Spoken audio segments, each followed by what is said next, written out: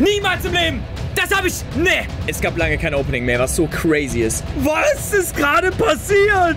Das kann eines legit der besten Openings sein, die ich jemals hatte im Leben.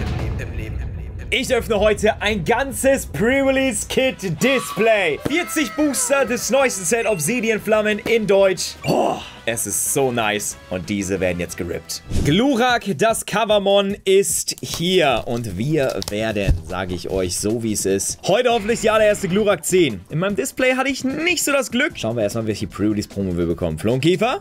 Ja, ein Togekiss sogar. Okay, sehr, sehr cool. Es gibt hier wieder vier Pre-Release-Promos, die wir alle sehen werden. Unter anderem haben wir auch den guten Palafin hier drin. Also den coolen Super Delphi, für Leute, die ihn nicht kennen. Togekiss und wir haben ja, wie auch schon gerade gesagt, Flunkiefer am Start. Das letzte verrate ich euch noch nicht, aber auf jeden Fall auch eine coole Karte hier. Und zwar kann man Zieh so lange Karten, bis du 8 in deiner Hand hast und hast am Ende deines Zuges. Ob das so cool ist, das finden wir später heraus. Aber wir gucken uns auch hier die Booster als auch das Deck an, um zu gucken, was für Karten da drin sind. Denn ich kann euch eine Sache sagen. Ich brauche einige Staples. Die werden hier vielleicht drin sein sogar. Aber ich brauche auch ein paar neuere Karten für meine Decks. Dementsprechend bin ich sehr, sehr froh, dieses Set hier zu öffnen. Wir werden auch wieder heute was verlosen. Dementsprechend bleibt dran. Wir werden hier heute definitiv was für euch auch wegballern. Wir haben ein Cesurio, Togepi und Lumiflora in Fuller. Das startet doch mega. Sehr, sehr geile Karte. Mit Staubfeld kann man einfach sagen, jo, der Gegner hat nicht mehr als drei Pokémon auf der Bank. Mega geile Karte. Highest Rarity. Dementsprechend finde ich schon mal sehr saftig. Schauen wir mal, wie wir hier gepult hätten. Ey, wenn das hier mein Pre-Release-Kit gewesen wäre, wie gut wäre ich gewesen? Oder wie gut hätte ich abgeschnitten? Also bisher Sichlos, sehr, sehr gut. Okay, wir haben einen Lomi Sposs und wir haben einen Delfinator. Also wir haben bisher die Combo. Wir können spielen. Wir können spielen. Ich hätte safe gewonnen. Weiter geht es hier. Gucken wir mal, ob wir das hier weitermachen können, Alter. also bisher sage ich, yo, wir sind sehr, sehr gut aufgestellt mit diesem Pre-Release-Kit. Taubsi. Oh, let's go!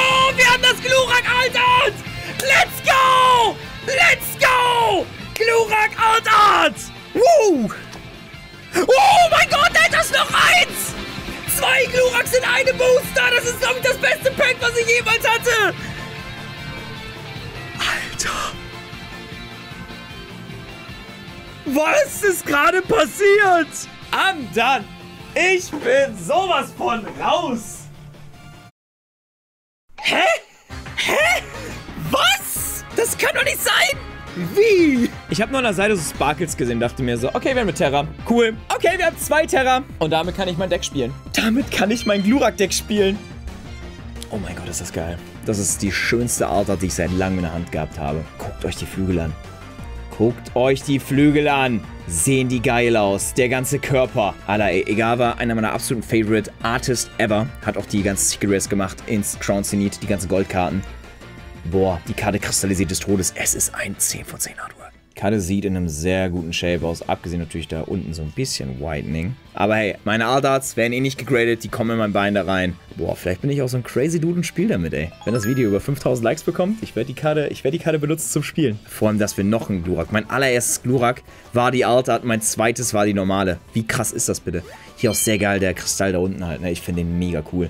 Also den hier hätten sie ruhig da auch machen können. Den finde ich sehr geil, auch da oben. Ist halt einfach eine mega geile Karte, vom Aussehen her, als auch vom Effekt her. Wenn du dieses Pokémon aus deiner Hand spielst, um eins deiner Pokémon zu entwickeln, kannst du halt noch bis zu drei Basis-Energiekarten durchsuchen und sie beliebig an deine Pokémon an anlegen. Ich bin, ich bin, ich weiß nicht, was ich sagen soll. Ich weiß nicht, was ich sagen soll.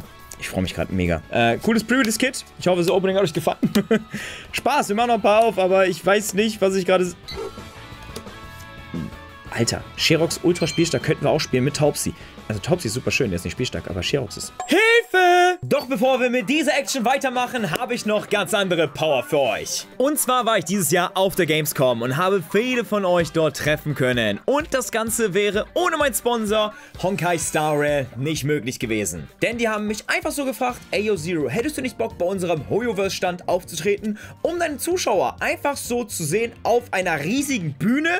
Und da konnte ich nicht anders als zu sagen, auf jeden Fall. Und auf und neben der Bühne gab es vieles, was man entdecken konnte. Neben Pompom, der einfach super knuffig ist, solange er mir einen 5-Sterne-Charakter gibt, waren auch einige Cosplayer vor Ort. Darunter auch die Trashcans. Und ja, das sind literally Mülleimer. Ich durfte sogar auf der riesigen Bühne gegen einen Zuschauer kämpfen und ich habe verloren.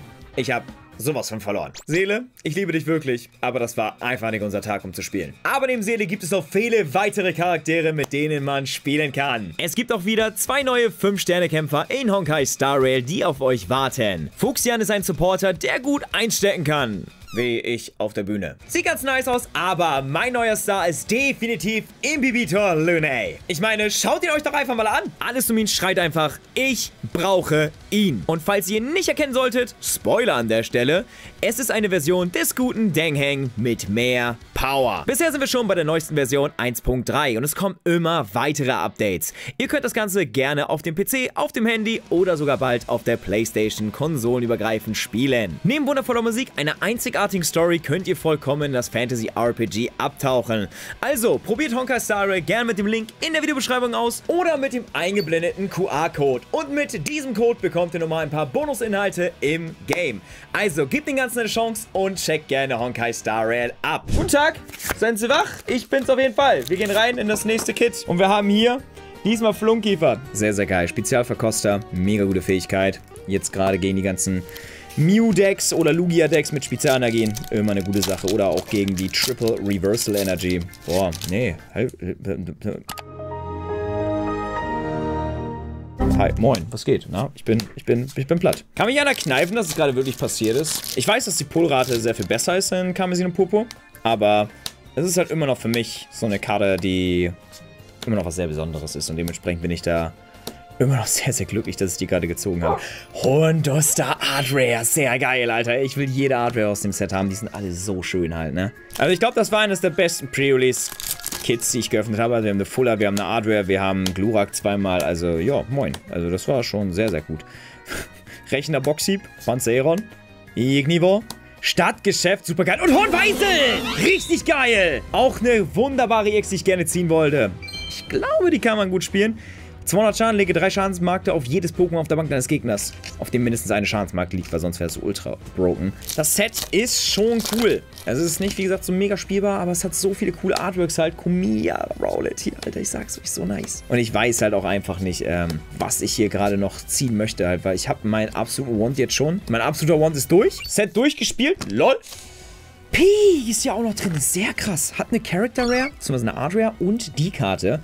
Zieh so lange, bis du sieben Karten in deiner Hand hast. Das ist halt auch übelst stark, sage ich euch. Verculi, Gladi Imperio, Fragrunz, ermutiger Brief. Entei, Volnona hat auch eine Art Rare und wieder Sherox. Ich sag's euch, Sherox wird eine gute Karte werden. Aber Sherox ist auch so einer meiner Favorite Pokémon ever aus Generation 2. Genauso wie Nachtara halt. Das sind so Pokémon, die waren edgy, die waren cool und seitdem vergötter ich sie. Okay, wir haben ein Colzo.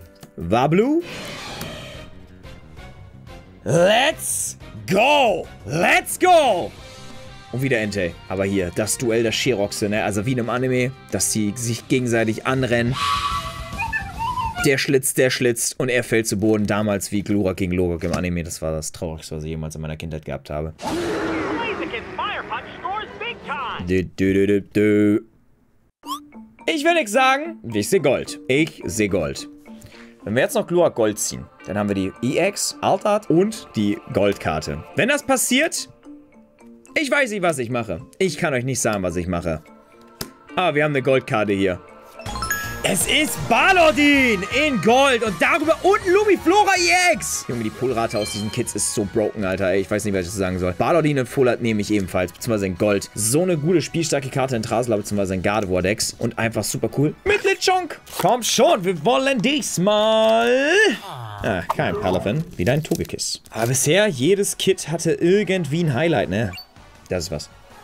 Da ist was. Das Bautz hat's angekündigt. Kommt schon, Bautz. Flampevia. Bismarck. P. Poppy Alt Art.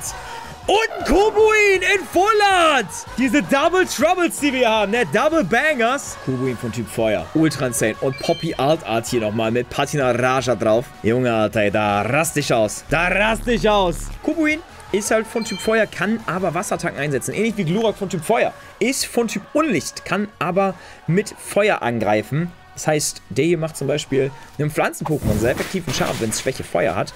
obwohl man den in Wasserdeck spielen kann, durch die Energien. Das ist halt sehr praktisch, genauso wie beim Glurak halt. Delta Species hat es vorgemacht und ja, das Pokémon das jetzt immer noch macht, Chapeau. Also es bietet sich ja mit der Terra halt, ne? Das haben, das haben sie ja basically, so wie dieses Schülort hier sagt, Sü, haben sie wirklich reingemacht, damit es halt ein geiles Feature ist. Mein Lieblings-Lavita. Let's go. Guckt ihn euch an, wie er hier den Dirt frisst. So süß. Und das erinnert mich so krass, so, so krass an eine Karte meiner Kindheit, warum ich dieses Artwork vergöttere. Wirklich, wirklich, sage ich euch. Da bin doch Delfinator. Der Held in deiner Welt.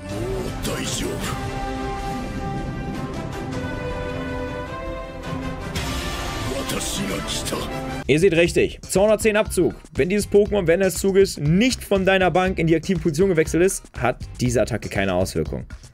Aber der macht halt einfach 210 für eine Entwicklung. Der muss halt getauscht werden. Ist in vielen Decks möglich. 210 Schaden, einfach so. Mit einem Phase 1. Das kann sehr mächtig werden. Pep ich habe mich doch nicht versehen. Hier sind wirklich Karten drin geprintet, die aus älteren Sets sind. Also ich habe das nicht verstanden, warum das so bei ein paar Karten war, die ich gesehen habe. Aber auch hier Rüpe von Team Star. Ich war mir da sehr sicher, dass die ein, im Base-Set drin waren. Und jetzt auch Pepper. Jetzt bin ich mir sehr, sehr sicher, dass hier Karten aus Karmesin und Popo halt geprintet sind. Und ich frage mich, warum Pokémon? Warum habt ihr hier Karten reingemacht, die eigentlich gar nicht reingehören? Die eigentlich aus einem anderen Set sind, wisst ihr?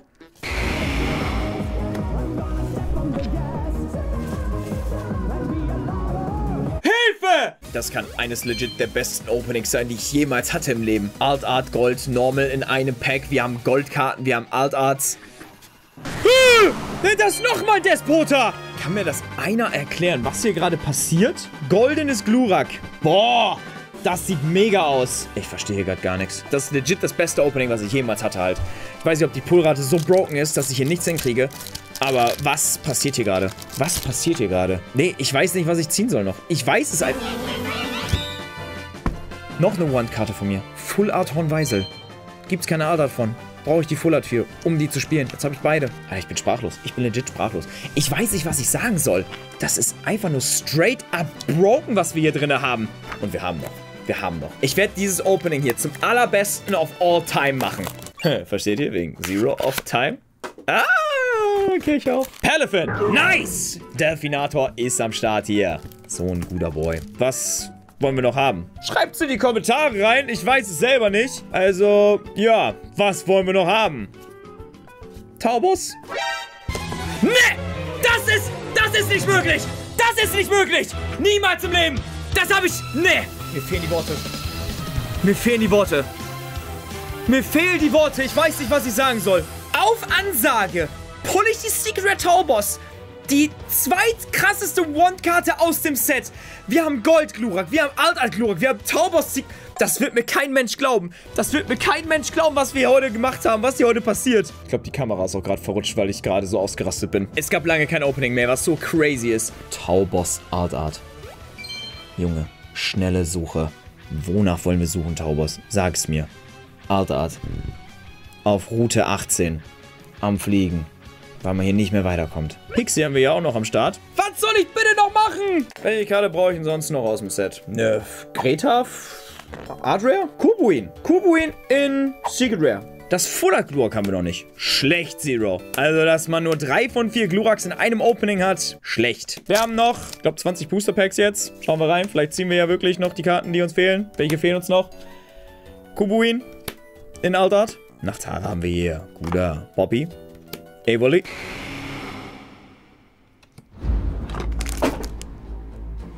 Hilfe. Das Set der Sets für Sammler ist da. Und ich spiele es innerhalb von ein paar Sekunden durch. Der Delfinator, der glaubt auch, hier Bruder, du brauchst einen Helden. Nee, Alter, ey. Ich glaube, ich bin der Held. Nur eine kleine Story für euch. Wir haben heute die 500.000 Abonnenten geknackt. Heute Morgen vor drei Stunden. Als, also ich nehme dieses Video gerade zu dem Zeitpunkt auf. Und so ein Geschenk zu bekommen, mit so vielen coolen Karten oder ähnliches, ist für mich gerade das Schönste, was ich bekommen kann in meinem TCG-Leben.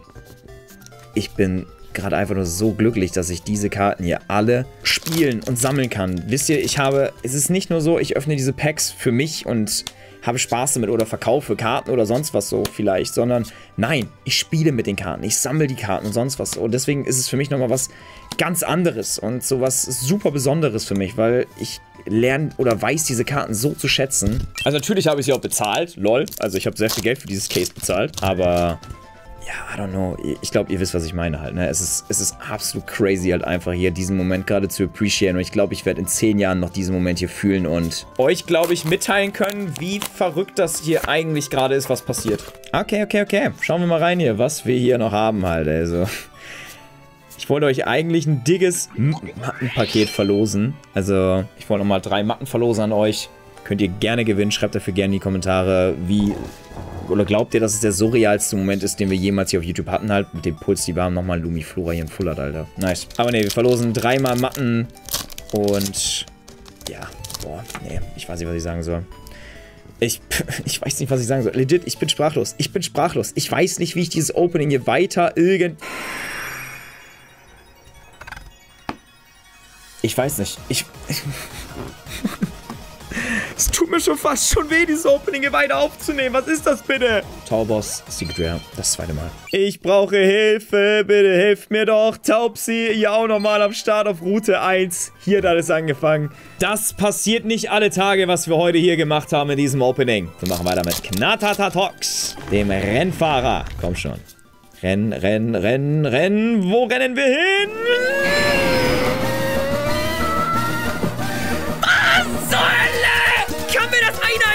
Das ist das zweite hiervon.